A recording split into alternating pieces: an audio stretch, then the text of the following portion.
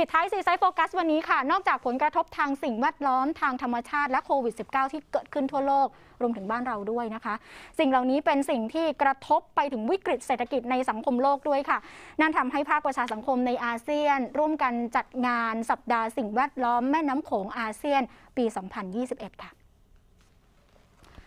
ภายใต้แนวคิดออกแบบอาเซียนใหม่ เสียงประชาชนในโลกวิกฤต ระหว่างวันที่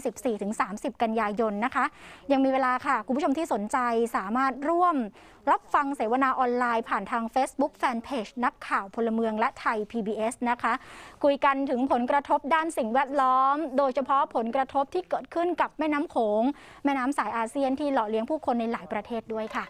คุณเจษดาคุณนนวิสาคะดิฉันประชาสัมพันธ์งานนี้เอาไว้ เพราะว่าจริงๆเนี่ยถ้าเราดูภาพรวมเรื่องภัยพิบัติไม่ว่าจะฟ้าฝนแล้งที่อาจจะเกิดขึ้นในปีหน้ามันบวกรวมกันทั้งสิ้น และการจัดการเพียงแค่เมืองไทยอย่างเดียวเอาไม่อยู่ค่ะ อาจจะต้องมองขยับถึงอาเซียนแล้วก็ระดับโลกด้วยนะคะ มันเป็นเรื่องของมลภาวะเรื่องของสิ่งแวดล้อมข้ามพรมแดนใช่ประเทศค่ะใดประเทศหนึ่งอาจจะแก้ไข